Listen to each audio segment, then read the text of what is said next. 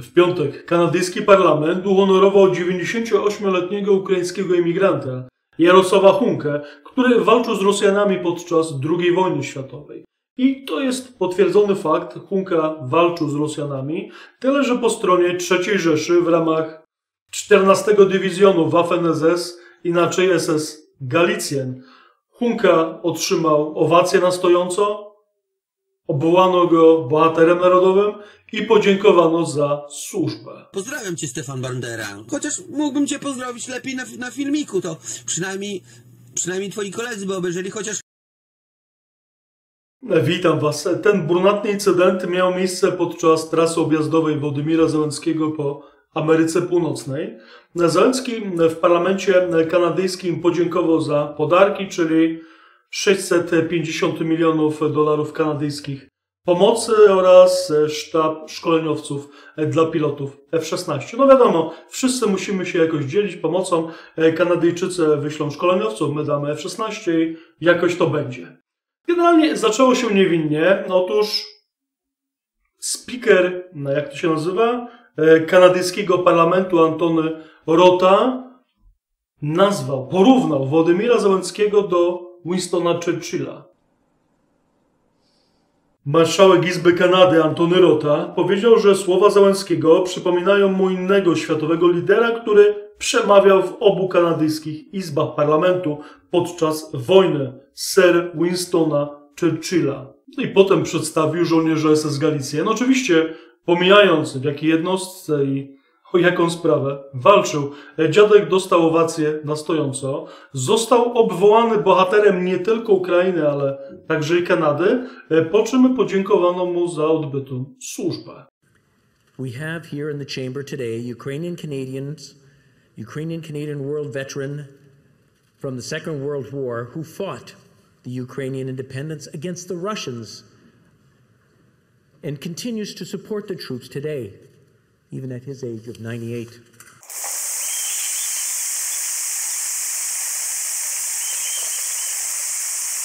He's a Ukrainian hero, a Canadian hero, and we thank him for all his service. Thank you. To było w piątek, a w niedzielę odezwały się środowiska żydowskie, które były oburzone faktem mianowania nowego ukraińsko-kanadyjsko i chyba jednak cały czas niemieckiego bohatera. FSWC jest zbulwersowana faktem, że parlament Kanady nagrodził owacją na stojąco ukraińskiego weterana, który służył w nazistowskiej jednostce wojskowej podczas II wojny światowej i był zamieszany w masowe mordy na Żydach i innych osobach. Należą się przeprosiny i wyjaśnienia. Przewodniczący kanadyjskiej Izby Gmin Antony Rota wziął całą winę za stręczenie tego bohatera o brunatnej przeszłości na siebie. Speaker kanadyjskiej Izby Gmin przeprosił w niedzielę za rozpoznanie mężczyzny, który walczył w nazistowskiej jednostce wojskowej podczas II wojny światowej. W moich uwagach przy przemówieniu prezydenta Ukrainy rozpoznałem w galerii osobę. Później uzyskałem więcej informacji, przez co żałuję swojej decyzji stwierdził Rota w oświadczeniu. Otóż musicie wiedzieć, że Hunka nie krył swojej przeszłości. Niewykluczone, że do teraz jest z niej dumny. Skąd takie wnioski? Otóż e, w Ameryce Północnej funkcjonuje biuletyn Ukraińców, którzy mieszkają w Kanadzie, w Ameryce, w Meksyku. Mm, I to jest biuletyn o zacięciu historycznym. Tam te wszystkie heroje z II wojny światowej, wcześniejsze zdjęcia, wspominki, opowiastki, różnego rodzaju historie. To jest strona na WordPressie, ale patrząc na licznik, no to oni tam wykręcają po 20 parę tysięcy odwiedzin tygodniowo, więc to jest jak na taką niszę, e, to jest e, całkiem sprawnie działający biuletyn. No i swoje wspominki umieścił tam również Hunka.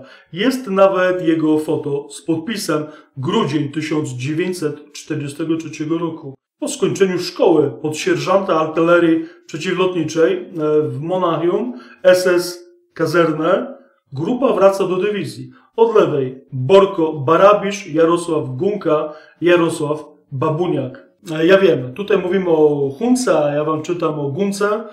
Jednak jeżeli wkleimy e, w cudzysłowie e, to nazwisko cyrylicą, Gunka, no to w Google wychodzi nam afera, o której dzisiaj rozmawiamy, więc to jest ta sama osoba. Fotek lata więcej, niewykluczone, że on się udzielał w innych portalach, ewentualnie na tym portalu jest jego więcej zdjęć, wystarczy poszukać. No i teraz pytanie, skąd ten dziadek się wziął w kanadyjskim parlamencie? Otóż, tak jak mówiłem, e, Antony Rota całą winę wziął na siebie i on stwierdził, że e, delegacja ukraińska nie wiedziała, że on przyjdzie. e, Nie wiedzieli o tym koledzy partyjni, bo przecież ten Rota jest z partii Justina Trudeau.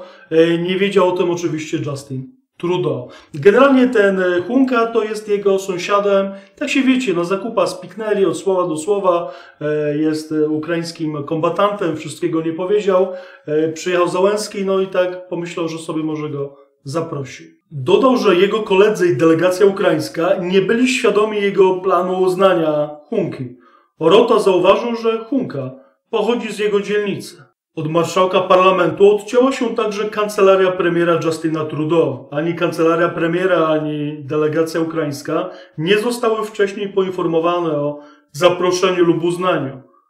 Należy przypomnieć, że parlament i urząd przewodniczącego Izby są oddzielne od prezesa Rady Ministrów i urzędu premiera. No i kolejne stanowcze zapewnienie, tym razem e, ze strony prominentnej polityk partii Justina Trudeau, Karyny, Karyny Gould. Marszałek dał teraz jasno do zrozumienia, że to on był odpowiedzialny za zaproszenie tej osoby do Izby. Rząd nie odegrał żadnej roli. Nie było wiadomo, że tam będzie. Premier się z nim nie spotkał. Jestem głęboko zmartwiona, że to się wydarzyło. Wzywam parlamentarzystów, aby nie upolityczniali tego incydentu. Czyli prominentna polityk partii Justina Trudeau mówi, że Trudeau się z nim nie widział, generalnie chłopa nikt nie zna. No i patrzcie teraz. Jest foto wrzucone przez córkę Hunki, Teresę, na Facebooku, gdzie ojciec czeka przed gabinetem Justina Trudeau na spotkanie. Cóż, Karino, wygląda na to, że Trudeau faktycznie spotkał się z Jarosławem Hunką, e, zanim otrzymał owację na stojąco. Nazywasz jego wnuczkę kłamcą? Aha, to czyli nie córka, a wnuczka. No i żeby było śmieszniej, Karyna Gold, która wszystkiemu zaprzecza, też ma foto z Hunką. E, Dziadek siedzi na wózku inwalidzkim, e, a Karyna trzyma go za rękę, czyli stara, dobra szkoła. Im bardziej sprzeczna z prawdą, im, im kłamstwo jest bardziej sprzeczne z prawdą, tym jest skuteczniejsze. Tym jest skuteczniejsze. Ono nie może być bliskie. Ono musi być skrajnie, brutalnie przeciwne prawdy. Wygląda na to, że rodzina Hunków jest zaangażowana politycznie, jest zaangażowana w ukraiński rewizjonizm. E, Skąd te wnioski? E, Otóż znalazłem donację e, z 2019 roku 30 tysięcy dolarów kanadyjskich e, nad badaniami nad życiem i dokonaniami państwa podziemnego w państwie podziemnym arcybiskupa Andrzeja Szeptyckiego, kapelana UPA. Zobaczcie, Jarosław i Margaret Hunka, Ukraiński Fundusz na Rzecz Badań Naukowych, 2019 rok, 30 tysięcy dolarów, założony w 2019 roku w celu wspierania badań związanych z ukraińskim kościołem katolickim.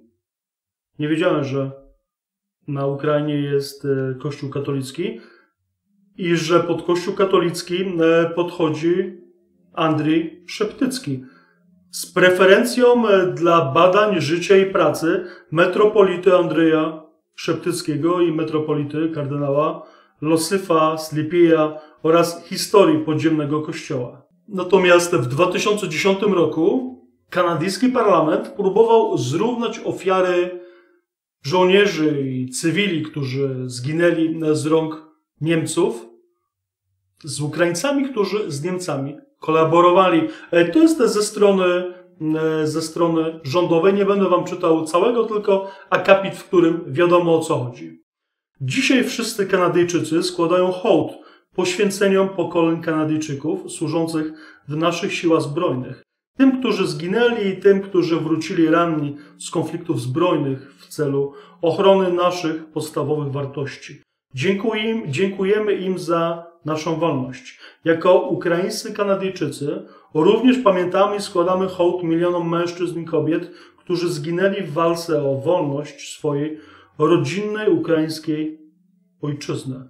Mężczyźni i kobiety ukraińskich strzelców siczowych, pierwszej dywizji ukraińskiej Armii Narodowej, Ukraińskiej Powstańczej Armii i Organizacji Ukraińskich Nacjonalistów. No, wygląda na to, że w Kanadzie działają ukraińskie środowiska rewizjonistyczne, y, które próbują nam wykuć nową wersję historii, taką kadłubkową, gdzie mówimy tylko o dobrych stronach ukraińskich y, herosów, y, gdzie zrównujemy kata i ofiarę, gdzie katu oddajemy cześć. Nie możemy zapominać, że to nie jest pierwszy skandal o takim podłożu. W końcu parę miesięcy temu e, Władimir Załęcki e, przyjechał odebrać order Orła Białego w bluzie Melnykowców. E, z Melnykowców, Melnykowcy wchodzili w skład SS Galicjan. Niemała część wchodziła na ochotnika. I niestety na ten temat cały czas jest cisza w mainstreamie. E, na koniec e, proponuję, e, byście podali dalej informacje o tych badaniach na temat dokonań żywota arcybiskupa Szeptyckiego i byście napisali do Uniwersytetu w Albercie, czy podali osobom, które chętnie by napisały, jeżeli wy nie chcecie. No pytanie, czy już go beatyfikowali, e, co tam, e, co tam ciekawego napisano. E, ja taki list no, w ciągu kilku dni zmajstruję i czy na karcie na, na karcie społeczności, czy po prostu jakiś krótki filmik dodatkowy sobie strzelimy. No i właśnie, myślę, że to jest dobry czas, by uderzyć do Uniwersytetu w Albercie, co oni tam ciekawego, co oni tam ciekawego znaleźli i można by było też podesłać e, inne materiały, które mam wrażenie, że rodzina Hunków pominęła milczeniem. Tak to nazwijmy. Jeżeli Wam mało, jeżeli macie czas, zapraszam Was na kartę wideo. Możecie sprawdzić, czy nic Was nie ominęło, czy może zainteresowałby Was jakiś starszy film. Dziękuję wszystkim osobom, które wspierają ten kanał, a pamiętajcie, że każdy z Was jest realnym wsparciem. Wystarczy być Wystarczy pamiętać, pamiętajcie, idźcie na wybory, kupujcie polskie produkty.